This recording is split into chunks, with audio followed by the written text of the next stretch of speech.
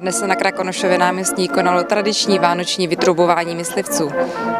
Poprvé lesníci na Krakonošově náměstí vytrubovali už před třemi lety a od té doby se z akce stala tradice. Počátky troubení však sahají už do pravěku, kdy se takto lovci dorozumívali při honbě za zvěří. Šlechta pak lov postupně povýšila na společenskou událost spojenou se slavnostním ceremoniálem. Lovecké troubení má veliký jaksi význam při těch eh, mysliveckých akcích, při lovech. Pro ty naše absolventy je to něco navíc než u mě ostatní. Náměstí se zvolit, protože jednak eh, tady je už i vánoční atmosféra vlastní výzdobou, je tady vánoční strom. Myslím si, že takové je to centrum Trutnova, kde těch posluchačů může přijít nejvíc, se podívat, když prochází třeba Trutnovem. Vánoční vytrumování je tradičně zakončeno nejznámějšími koledami. Hrát v takové zimě však chce trochu té otužilosti.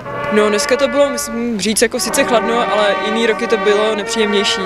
Po každý, když jsem na hodně, je mi zima, ale hraju.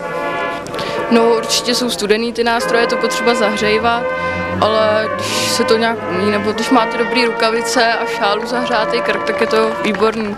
Jak je vidět, trubači nejsou pouze muži, mohou se jimi stát i dívky a jejich zájem o toto umění je čím dál větší. Důležitý je talent, rovné zuby, hospodaření s dechem a smysl pro rytmus. A jak je těžký naučit se hrát na takový nástroj? No, není to, je to spíš o píli. Že mít trošku talent samozřejmě a jinak trénovat a trénovat. Může se stát trubačem každý? Každý, kdo, kdo pro to má cit, samozřejmě, kdo chce a má pro to zápal. Jak se vlastně na takový nástroj hraje? No, mění se to vlastně pohybama rtů. Eh, Když se víc otvírají rty, tak je hlubší tón, když se zase zavírají, tak je vyšší tón. Čistě jde o to strčit, správně strčit ruku do korpusu. V lesnické škole v Trutnově se výuce lovecké hudby věnují už od roku 1950 a zájem o ní stále stoupá. Krásných výsledků dosahují v národních, ale i mezinárodních soutěžích. Pro Trutnovinky CZ Jana Jánošíková.